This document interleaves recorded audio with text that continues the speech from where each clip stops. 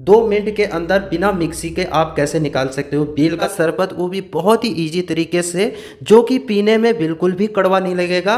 Bell का शरबत पीने से काफ़ी सारे फ़ायदे होते हैं, जैसे कि पेट में खास करके ये ठंडा रखता है। गर्मियों में पीने से, गर्मियों से बचा जा सकता है। सिरदार की प्रॉब्लम होती है, उनको भी, जिनके पेट में गैस रहती है, उसको भी ये ठीक करता है। गर्मियों में खासकर इसको पिया जाता है, जिससे कि गर्मी से बचा जा सकता है, लू से बचा जा सकता है। बेल के साथ साथ हमने पन्ने की भी रेसिपी डाल रखी है तो वो वीडियो नहीं देख रखी है तो आप नीचे डिस्क्रिप्शन में जाकर ज़रूर देखिए। तो हेलो फ्रेंड्स कैसे हैं आप लोग? उम्मीद करता हूँ आप लोग अच्छे होंगे, स्वस्थ होंगे। आज हम बनाने जा रहे हैं बेल का शरबत, वो भी दो मिनट में। एक मीडियम साइज़ का बेल ले लिया है और ये बिल्कुल पका हुआ बेल है, बिल्कुल तैयार है। और इसको हमने पहले एक साइड से तोड़ लेना है, इसके दो हिस्से भी आप कर सकते हैं। और इसको चम्मच की सहायता से आप इस तरीके से इसका गुद्दा को आसानी से ईजिली ये निकल जाता है।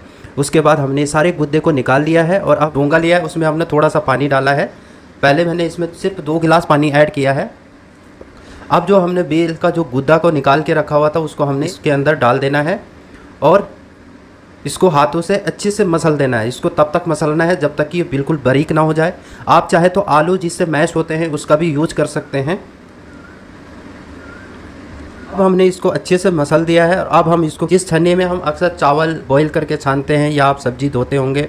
वो वाले हमने स्टील की छानी ले ली है और इसके छेद भी ज़्यादा मोटे हैं, लेकिन बीज इसमें से नहीं निकल पाएगा।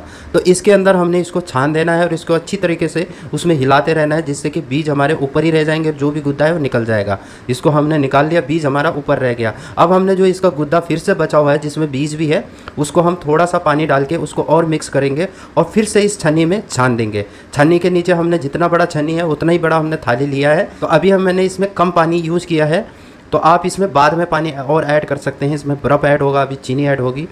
और रेसा इसको बिल्कुल अच्छी तरीके से अलग हो चुका है। जो बेल का गुद्दा है, वो बिल्कुल अच्छी तरीके से हमारा निकल चुका है। इसको इसी तरीके से भी पी सकते हैं। बिल्कुल भी आपको कड़वा नहीं लगे। इसी खांड का यूज़ किया, आप चाहे तो चीनी का यूज़ भी कर सकते हैं। और चीनी ना हो तो आप गुड़ का भी यूज़ कर सकते हैं। ऐसा इसमें बर्फ़ ऐड किया है और इसको हमने मिक्सी में घुमा लिया है। बेल का बहुत ही परफेक्ट तरीके से दो मिनट में हमारे बेल का शरबत बनकर तैयार हो चुका है। इसको आप सर्व करिए। अगर आप इसको गाढ़ा पसंद करते हैं तो आप पानी कम रखें। अगर आप पतला खाना पसंद करते हैं तो आप इसमें और पानी ऐड कर सकते हैं या बर्फ़ भी ऐड कर सकते हैं। तो ये हमारा परफेक्ट तरीके से बेल का शरबत बनकर तैयार हो चुका है। ये बेल का शरबत आपको कैसा लगा, कमेंट करके बताएँ। वीडियो को लाइक कीजिएगा, शेयर कीजिएगा। चैनल पर अगर आप पहली बार आए हैं तो चैनल को ज़रूर सब्सक्राइब कीजिएगा। धन्यवाद।